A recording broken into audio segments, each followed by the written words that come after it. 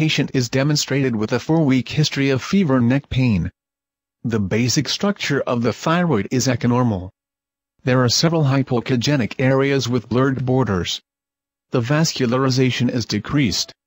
The echogenicity index is around 10% in the right lobe, while it is around 25% in the left lobe. The vascularization is practically absent,